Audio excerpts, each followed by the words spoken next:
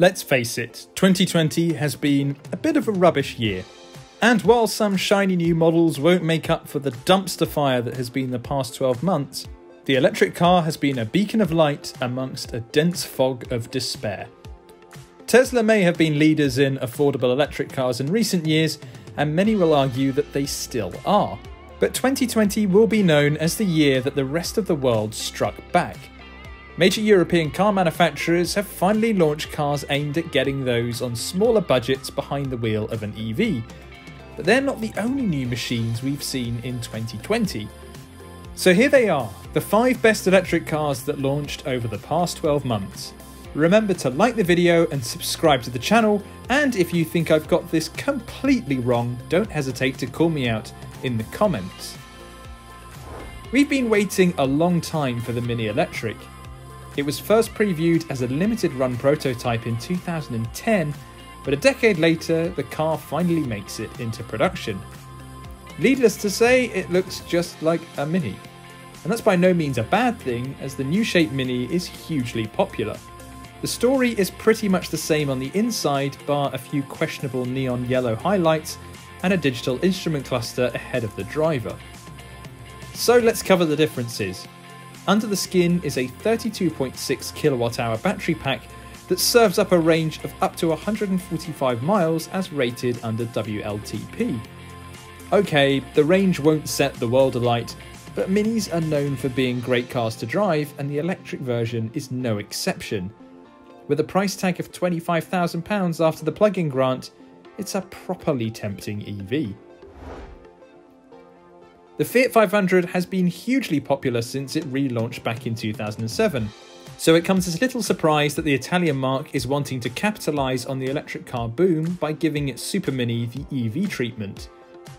Though it doesn't look massively different to the old car, albeit with new LED headlights and a sleeker overall design, all the big changes can be found underneath. The 500 electric gets a 42 kWh lithium ion battery with a WLTP rated range of 199 miles an hour, beating the Mini Electric and the next car on our list. There's a mix of driving modes to help you get the most out of your car, including a Sherpa mode that sips on battery power so you can find your way to a charger ASAP. Stylish, frugal, and crucially, quite cheap at £20,000 after the plug in car grant, the new 500 could be a serious hit when sales open early next year. The Honda E is quite possibly one of the most fun cars to launch in 2020. And that's just not compared to other electric cars, oh no. Its single rear mounted 152 brake horsepower electric motor will get you from 0 to 62 in a decent 7.9 seconds, but the near instant torque served up by its electric powertrain means the Honda E feels far nippier behind the wheel. The cabin is also wonderfully refreshing.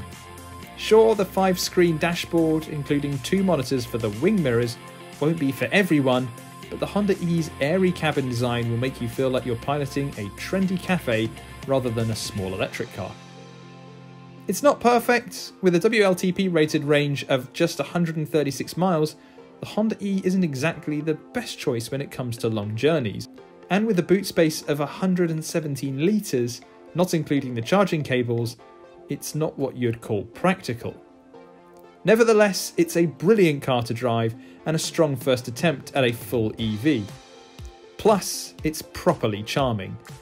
We're just scratching the surface here, so check out our full review by clicking the link in the top right hand corner.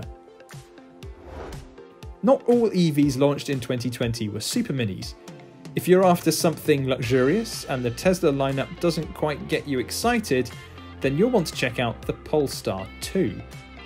The Swede Chinese sister brand of Volvo has already had a stab at creating an electrified car with its hybrid Polestar 1 coupe, but the 2 is the firm's first all electric model.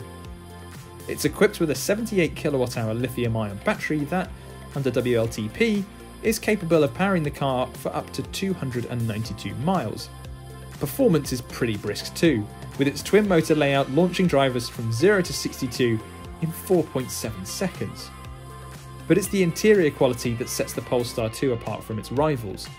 Couple that with a decent boot space and a price tag of £46,900, after the £3,000 plug-in car grant, and the Polestar 2 works out as a serious competitor to the Tesla Model 3.